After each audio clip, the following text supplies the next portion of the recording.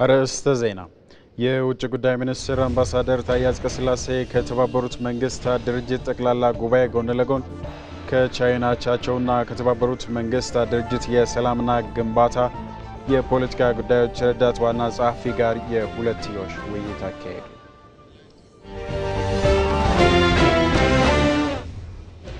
በአማራ ክልል እየጨመረ የመጣውን የወባ በሽታ ለመከላከልና ለመቆጣጠር ግብረ ኃይል ተቋቁሞ ወደ ስራ መገባቱ ተገለጸ።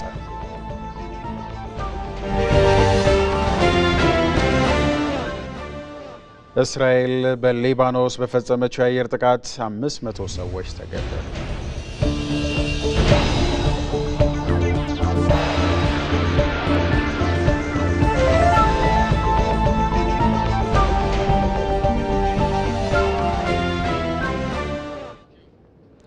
ሰላም ጤና ይስጥልን ክቡራን ተመልካቾች፣ ስድስት ሰዓት ሆኗል። የሰዓቱን ዜናዎች ወደ እናንተ እናደርሳለን። መሐመድ አልቃደር ዜናዎችን በማድረስ ከእናንተ ጋር ቆይታ የማደርግ ይሆናል። ወደ ቀዳሚው ዜና ስናልፍ የውጭ ጉዳይ ሚኒስትር አምባሳደር ታዬ አጽቀ ሥላሴ በተባበሩት መንግስታት ድርጅት ጉባኤ ጎን ለጎን ከቻይና አቻቸው ዋንግ ዪ ጋር የሁለትዮሽ ውይይት አካሄዱ። በውይይቱ በቅርቡ በቻይና በተካሄደው አራተኛው የቻይና አፍሪካ መድረክ FOCAC የመሪዎች ጉባኤ ሀገራቱ ግንኙነታቸውም የሚያጠናክሩ በርካታ ስምምነቶች መፈራረማቸው ለግንኙነቱ የሚሰጠው የላቀ ትኩረት ማሳያ መሆኑንም ገልጸዋል። የቻይናው የውጭ ጉዳይ ሚኒስትር ዋንግ ዩ በበኩላቸው ኢትዮጵያ በአፍሪካ አህጉር የምትጫወተውን ቁልፍ ሚና አድንቀዋል። ሚኒስትሩ የሁለትዮሽ ግንኙነታቸው የምንጊዜም ስትራቴጂክ አጋርነት በመሆኑ በቀጣይ በርካታ ስራዎች በጋራ ለመስራት መሰረት የጣለ ነውም ብለዋል። በሌላም በኩል አምባሳደር ታዬ ከተባበሩት መንግስታት ድርጅት የሰላም ግንባታና ፖለቲካ ጉዳዮች ረዳት ዋና ጸሐፊ ሮዝማሪ ዲካርሎ ጋር ተወያይተዋል። በውይይታቸውም በሶማሊያ በውጭ ኃይላት የሚደረግ የጦር መሳሪያ አቅርቦት ሀገሪቷ በአሸባሪዎች እጅ ልትወድቅ በር ይከፍትላታልም ሲሉ ተናግሯል። አምባሳደር ታዬ ሶማሊያን በተመለከተ ከሮዝማሪ ጋር በነበራቸው ውይይት ኢትዮጵያ በሽብርተኝነትን በመዋጋት የምታደርገውን ጥረት አጠናክራ እንደምትቀጥል ነው የገለጹላቸው። በሶማሊያ ድህረ የአፍሪካ ህብረት ሽግግር ተልዕኮ ሶማሊያ አትሚስ የሚኖረው የኃይል ስምሪት ተገቢውን ጊዜ ወስዶ የተልእኮውን የኃላፊነት መጠን፣ የፋይናንስ ምንጭና ቅንጅት በአግባቡ መሰራት እንዳለበትም ገልጸዋል። ሚኒስትሩ ባልተረጋጋ የደህንነት ሁኔታ ውስጥ በውጭ ኃይላት የሚደረግ የጦር መሳሪያ አቅርቦት መጨረሻው አሸባሪዎች እጅ ላይ መውደቅ ነው ሲሉም ስጋታቸውን ገልጸዋል። የተባበሩት መንግስታት ድርጅት የሰላም ግንባታና የፖለቲካ ጉዳዮች ረዳት ዋና ጸሐፊ ሮዝማሪ ዲ ካርሎ በቀጠናውና ከቀጠናው ባሻገር በተባበሩት መንግስታት ድርጅት ከኢትዮጵያ ጋር በሰላም ግንባታ ዙሪያ የሚያደርገውን ስራ አጠናክሮ የሚቀጥል መሆኑን የውጭ ጉዳይ ሚኒስቴር መረጃ ያመላክታል።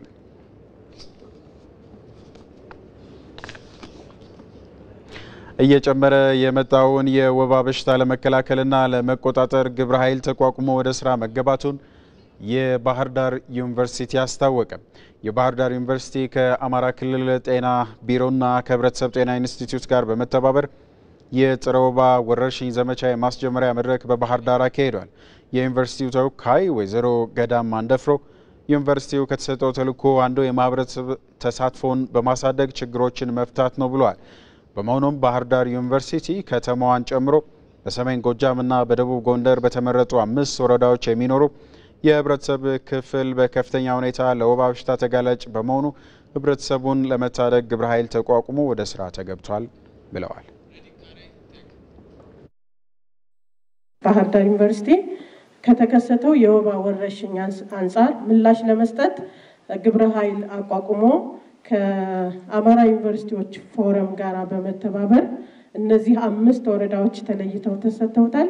ማለትም ከሰሜን ጎጃም የባህር ዳር ዙሪያ ባህር ዳር ከተማ፣ ከደቡብ ጎንደር የሊቦ ከምከም፣ ደራና ፎገራ ወረዳዎች በጣና ዙሪያ እንደመገኘታቸው ለወባ ያላቸው ተጋላጭነት እጅግ ከፍተኛ ነው። ወባን ህዝቡን አስተባብረን በተለይ በመከላከሉ ላይ መሰረት አድርገን ሕክምናው ላይ ሳይሆን መከላከሉ ላይ መሰረት አድርገን መከላከሉ ላይ እርግጠኞች ሆነን ከሰራን አሁን የተጋረጠብንን አደጋ እንደምንወጣው እርግጠኞች ነን። የአማራ ክልል ሕብረተሰብ ጤና ኢንስቲትዩት ምክትል ዳይሬክተር አብርሃም አምሳሉ ከ2011 ጀምሮ ወባን ጨምሮ የሕብረተሰብ ጤና አደጋዎች መበራከታቸውን አንስተው በተለይም በ2016 በወባ በሽታ ተጠቅቶ ሕክምና ያገኘው የህዝብ ቁጥር 1.5 ሚሊዮን ደርሷል ነው ያሉት። ይህም ወረርሽኙን ለመግታት ምርምርና ማህበረሰቡን ያሳተፈ የመከላከል ስራ ወሳኝ መሆኑን ጠቅሰዋል። ዩኒቨርሲቲዎችም የህብረተሰብ ጤና አደጋዎችን ለመከላከልና ለመቆጣጠር የማህበረሰብ ተሳትፎን ለማሳደግ ማህበረሰብ ተኮር ስራ ስላላቸው በዛ ታሳቢ ተደርጎ ስራ እንዲሰሩ ተሞክሯቸውን አቅርበው ሌሎችም ዩኒቨርሲቲዎች አሁን ለእኛ ሪፖርት እያደረጉ ነው ያለው። ስራ ጀምረዋል ማለት ነው። ስለዚህ ባህር ዳር ዩኒቨርሲቲ በዚህ ግንባር ቀደም ሆኖ ስላገኘ ነው ከልብ እናመሰግናለን። በአፋር ክልል በመኸር ወቅት ከ24 ሺህ ሄክታር በላይ በተለያዩ ሰብሎች በዘር መሸፈኑን የክልሉ ግብርና ቢሮ ገለጸ።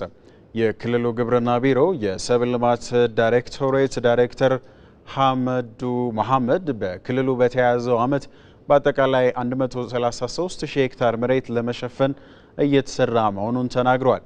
የአርብቶ አደሩ ማህበረሰብ በግብርና ዘርፍ በማሳተፍ በክልሉ የምርት መጠን ከፍ ለማድረግ ለከፊል አርሶ አደሩ የተለያዩ ድጋፎችን በማድረግ እየተሰራ መሆኑንም አንስተዋል።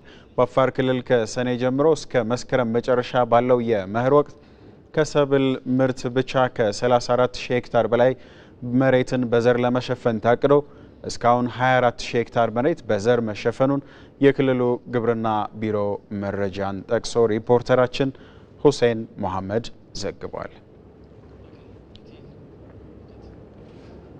ለረጅም ዓመታት በቲያትር በማስታወቂያ ባለሙያነትና በፊልም ደራሲነት የሚታወቀው ተስፋዬ ማሞ ከማዕበል ማዶ የተሰኘ የትዳር ሕይወቱን ጨምሮ በርካታ የሕይወት ልምዶች የሰፈሩበትን ግለ ታሪክ የያዘ መጽሐፍን ለአንባቢያን አብቅቷል። ኤዶም አማረ በመጽሐፍ ምርቃቱ ላይ ተገኝታ ተከታዩን ዘገባ አዘጋጅታለች። ለወትሮ የሚታወቀው በሚያዘጋጃቸው የሬዲዮ ፕሮግራሞች፣ በፊልም ጽሁፎች እንዲሁም በማስታወቂያ ስራዎቹ ነው። በእርግጥ ከዚህ ቀደም ሁለት የልብ ወለድ መጽሐፍትን ለአንባቢያን አድርሷል። አሁን ደግሞ ከማዕበል ማዶ የተሰኘ የግል ታሪክ መጽሐፍ ለንባብ አብቅቷል። ተስፋዬ ማሞ ተስፋዬ ማሞ ሁልጊዜም አዲስ ኃይል ያለው ራሱን ከዘመን ጋር አስማምቶ መኖር የሚችል እንደሆነ የቅርብ ጓደኞቹ ይናገራሉ። ተስፋዬ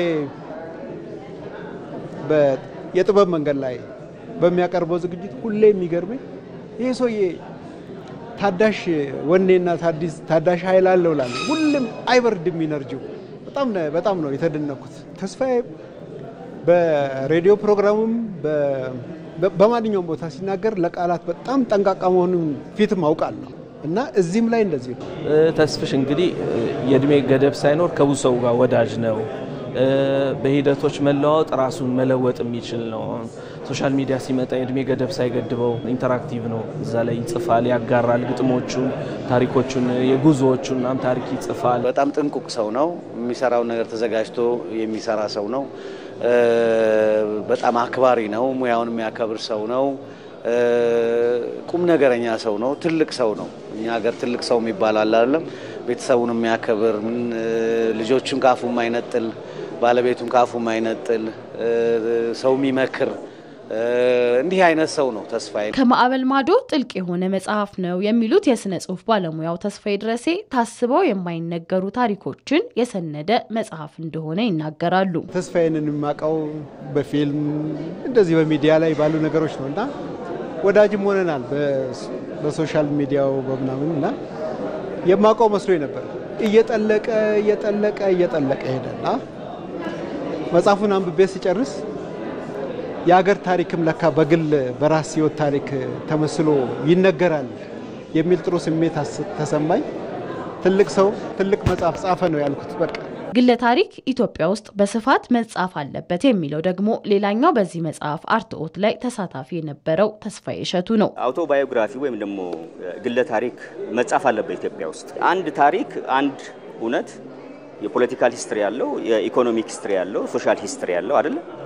ስለዚህ ማህበራዊ history ውን ለመጻፍ የግለሰብ ታሪኮች ሲጻፉ በደንብ exploit ስለሚያደርጉት መጽሐፋቸው በጣም appreciate መደረግ አለበት። ስለዚህ ተስፋዬ መኖር ብቻ ሳይሆን በጣም meaningful የሆነ ህይወት፣ በጣም productive የሆነ ህይወት ስላሳለፈ እሱን ማምጣቱ በጣም ብዙ ነገር ነው ክፍተቱን የሚሞላው።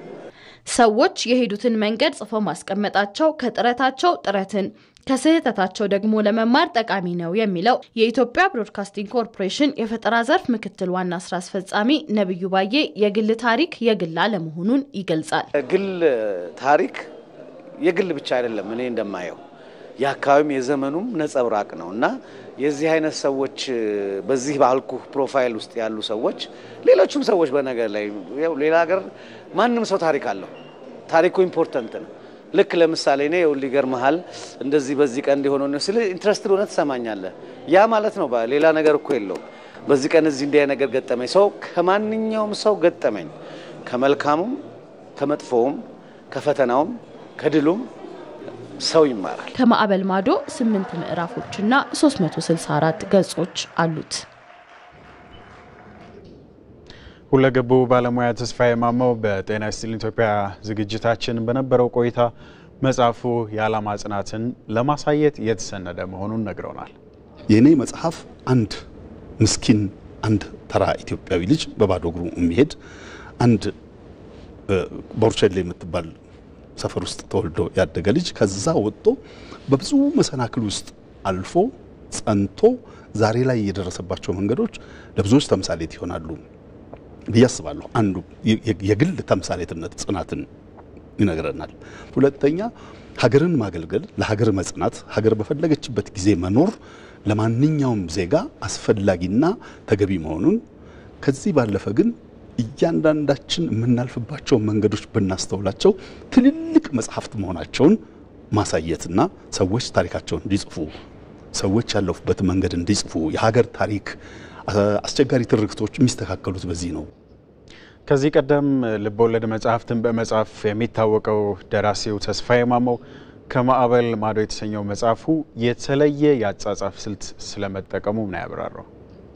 ከዚህ በፊት የምናውቃቸው አብዛኛዎቹ የ biography ም autobiography መጽሐፍት chronological ወይም የዘመን ስሌትን ተከትለው የሚሄዱ ናቸው።